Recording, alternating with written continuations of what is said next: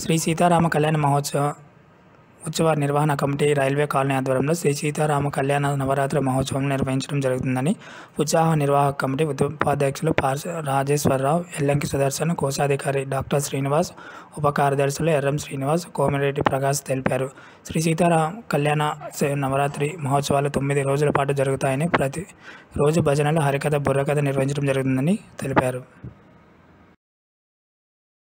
ద్విషష్ఠి అంటే అరవై రెండవ సంవత్సరం మరి దీన్ని పూనుకున్నటువంటి మధులేటయ్య గారి మొట్టమొదటగా మరి కళ్యాణము ఈ ఉత్సవాన్ని పూనుకున్నారు మరి నిర్విరామంగా ఇప్పటి వరకు ఎంతో క్రమశిక్షణతో భద్రాచలంలో రెండవ శ్రీరామనవమి కళ్యాణం అని మరి ప్రజలు వాడుకుంటుంటారు.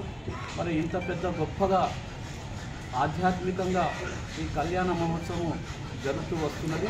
మరి దీనికి తొమ్మిది రోజులు ముప్పై తారీఖు నుండి మొదలుకొని ఎనిమిది తారీఖు వరకు సాంస్కృతిక కార్యక్రమాలు హరికథ బుర్రకథ మరి ఎక్కడెక్కడి నుంచో వచ్చి మరి కామారెడ్డి పచ్చని కళ్యాణ మంటపంలో మా కార్య మా హరికథ గావించాలి. మాకు అదృష్టంగా భావిస్తు భావిస్తున్నామని మరి ఎంతోమంది కళాకారులు మరి కామారెడ్డి పట్టణాన్ని యాచిస్తుంటారు మరి ఈ కార్యక్రమం తొమ్మిది రోజులు నవరాత్రులు ఎంతో ఉత్సాహంగా మరి మొద ఉదయం నుంచి మొదలుకొని పూజా కార్యక్రమాలు సాయంత్రము సాంస్కృతిక కార్యక్రమాలు మరి జరుగుతున్నాయి. మరి ఇది అరవై రెండవ సంవత్సరం చెప్పుకోదగ్గ విషయము గొప్ప విషయము.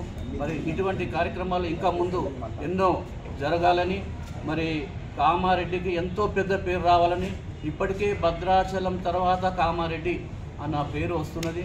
మరి ఇంకా ఎంతో కార్యక్రమం చేపట్టి ఆ భగవంతుడు మాకు సహనము మరి బలాన్ని చేకూర్చాలని ఇంకా ఇంతకు ఎన్నో ఇంతలు మరి మేము చేసుకోవడానికి కూడా ముందున్నాము. మరి కామారెడ్డి పట్టణ ప్రజల సహకారంతో రైల్వే కాలనీ సహకారంతో మేము ఈ కార్యక్రమాలను ముందుకు తీసుకెళ్తున్నాము. భక్తులు ప్రతిరోజు ఉదయము సాయంత్రము సాంస్కృతిక కార్యక్రమాల్లో పాల్గొని సీతారామచంద్ర భగవానికి కృపకు పాత్రులు కావాల్సిందిగా కోరుతున్నాను. జై శ్రీరామ్. ఈ సీతారామ కళ్యాణం రైల్వే స్టేషన్ కానీ రైల్వే ఈ కామారెడ్డి జిల్లాలో జరిగేటటువంటి గొప్పనైనటువంటి నవరాత్రులు